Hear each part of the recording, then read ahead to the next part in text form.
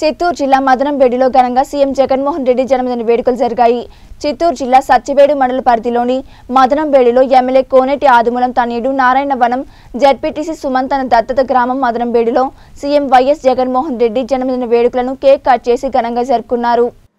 గ్రామంలో ఏర్పాటు చేసిన సమావేశంలో జడ్పీటీసీ సుమన్ మీడియాతో మాట్లాడుతూ మదనంబేడు గ్రామాన్ని తన వద్దకు తీసుకుని అభివృద్ధి చేస్తానంటూ ఆయన మీడియాతో అన్నారు. ఇక్కడ ప్రజలకి ఏ సమస్య వచ్చినా నన్ను సంప్రదించవచ్చు అని సమావేశంలో అన్నారు. వైసీపీ నాయకులు కార్యకర్తలు ముఖ్యంగా మదనంబేడు స్థానిక మహిళలతో రాష్ట్ర ముఖ్యమంత్రి వైఎస్ జగన్మోహన్ రెడ్డి జన్మదిన వేడుకలు జరుపుకోవడం చాలా సంతోషంగా ఉందని ఆయన పేర్కొన్నారు. అనంతరం బిర్యానీ పంపిణీ చేశారు. ఈ కార్యక్రమంలో వైసీపీ నాయకులు నిరంజన్ రెడ్డి సుశీల్ కుమార్ రెడ్డి చంద్రశేఖర్ రెడ్డి రవిరెడ్డి వెంకటేశ్వర్లు హరిబాబు వైసీపీ మహిళా కార్యకర్తలు పాల్గొన్నారు.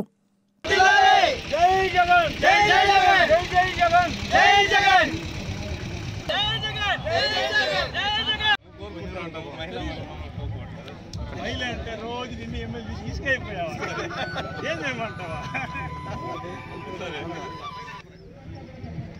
రోజు వస్తా ఉంటే బంధువులు గౌరవిస్తారా?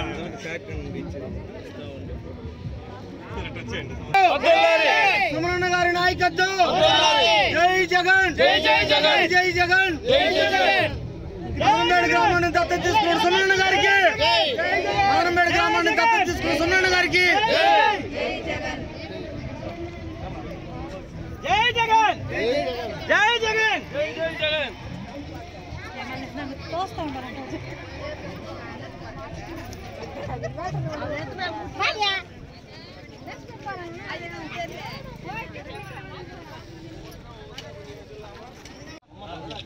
జై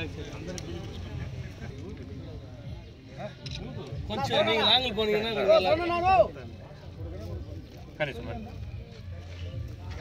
Happy birthday to CM. Happy birthday to CM. Happy birthday to CM. Happy birthday to ఎక్కడ సర్పంచ్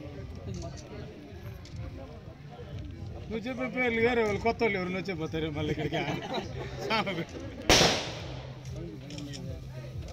இப்படி பாரு இப்படி பாரு இப்ப வரணும் கூப்பிடு கூப்பிடு அண்ணா நினைச்சேன்னா రావాలా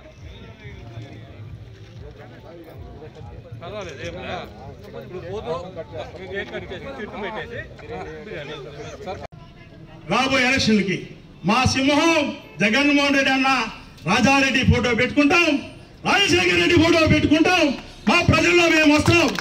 మీకు దమ్ము ధైర్యం ఉంటే మీ తాత సొత్తు పెట్టుకొని రాండి. మేము తేల్చుకుంటాము మేము గెలుస్తాము చూ- నిరూపిస్తాం. అంతేగాని ఈ పప్పు గారికి ఫోర్ ట్వంటీ పప్పు గారికి పనిలా ఈ ఫోర్ ట్వంటీ చంద్రబాబు నాయుడికి పని లేదు. కరోనా వస్తే కనబడరు. విశాఖపట్నం నుంచి విజయవాడ నుంచి హైదరాబాద్ దాక్కుంటారు. హైకోర్టులో పిటిషన్ వేస్తారు. ఇక్కడ పేదవారికి ఇల్లు ఇవ్వాలన్నా హైకోర్టు పిటిషన్. పేదవారికి రేషన్ కార్డు ఇవ్వాలన్నా హైకోర్టు పిటిషన్. మైనారిటీకి మా మసి మసీదు ఇవ్వాలన్నా హైకోర్టు పిటిషన్. బోరు వేయాలన్నా హైకోర్టు పిటిషన్. ఇదే మంచి పద్ధతి కాదు. ప్రజలకు తెలుసు. ఎవరు మంచి ఎవరు చెడు అని. మంచి చేసేటప్పుడు ప్రోత్సహించినోడే నిజమైన నాయకుడు అని నేను తెలియజేసుకుంటా చంద్రబాబు నాయుడు గారి. ప్రతిపక్షం అంటే కొన్ని సూచనలు ఇవ్వాలి జగనన్నకి మంచికి. అంతేగాని కొన్ని సూచనలు ఇవ్వకుండా ఎప్పుడు చూసినా బురద జరగడం అది అతని వయసుకు అలాంటి మాటలు మాట్లాడడం సరికాదు. అసెంబ్లీ నుంచి పారిపోయి వెళ్ళిపోతాడు. అక్కడ పోయి దైవంతో సమానమైనటువంటి రామారావు సారు కూతురు కూతుర్ని కూడా తీసుకోవచ్చు అసెంబ్లీలో రాజకీయం చేస్తున్న నీచుడు చంద్రబాబు నాయుడు. ఇలాంటి నీచుడిని ప్రజలు గుర్తు పెట్టుకోవాలి. తరిమి తరిమి కొట్టాలి.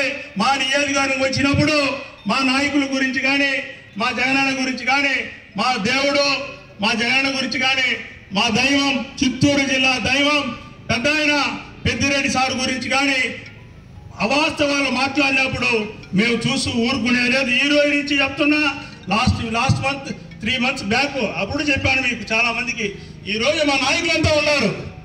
ఒక ప్రెస్ వాళ్ళకి ఆంధ్రప్రదేశ్ ప్రెస్ ఉంటుంది.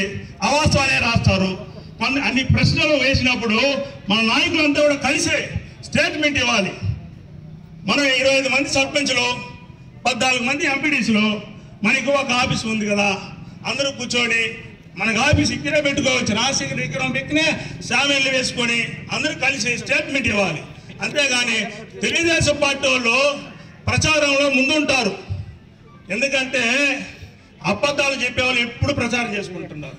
నిజం చెప్పేవాడు ఎవరికి వంగడు లొంగడు. అది జగనానికి సొంతం కాబట్టి మన నాయకులు కూడా అట్నే ఉంటారు. నిజం చెప్పేవాళ్ళు వాళ్ళతో మనకి పని లేదు పని లేదు అంటూ ఉంటారు. కానీ కొన్ని గ్రామాల్లో పత్రికా విలేకరుల ద్వారా మెసేజ్ పోతుంది అనమాట ఆ మెసేజ్ పోయినప్పుడు మీరు పత్రికా విలేకరుని పిలిపించండి వాళ్ళతో మాట్లాడండి వాళ్ళు కౌంటర్ ఇవ్వాల్సిన బాధ్యత మన పార్టీ వైఎస్ఆర్ కాంగ్రెస్ పార్టీకి ఈ రోజు నుంచి మీకు తెలియజేసుకుంటూ అదే